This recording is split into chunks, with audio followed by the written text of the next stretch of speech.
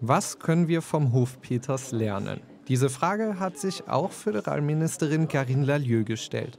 Auf Einladung von Antonius Antoniadis war die Brüsselerin in Emmels zu Gast und hat sich die Einrichtung des Hof Peters angeschaut. Il était important de faire une société beaucoup plus inclusive. Euh, notre marché de l'emploi n'est pas inclusif aujourd'hui parce qu'il n'y a que la productivité qui compte et on laisse sur le côté énormément de personnes, énormément de familles. Für den Hof Peters war der Besuch ein Zeichen der Wertschätzung der eigenen Arbeit.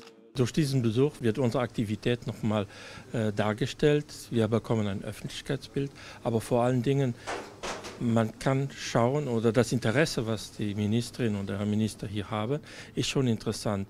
Wir sind ein Teil der Gesellschaft und das ist wichtig und das sollte auch wieder hervorgebracht werden. Essen zubereiten und für die Lieferung vorbereiten. So zeigt der Hof Peters auf, dass die Integration von Unterstützungsbedürftigen auch einen großen Mehrwert für die Gesellschaft in sich trägt.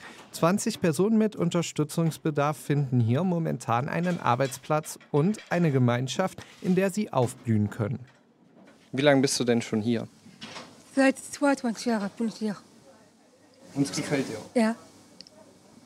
Was magst du denn am meisten? Äh.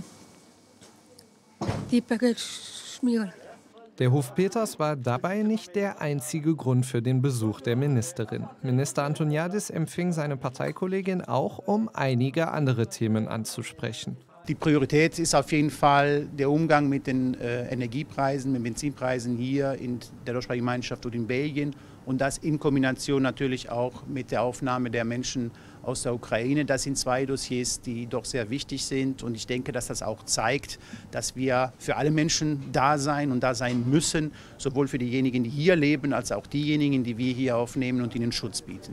Dass die DG und ihre Bevölkerung gemeinsam Lösungen findet, zeigt der Hof Peters und seine vielen ehrenamtlichen Helfer.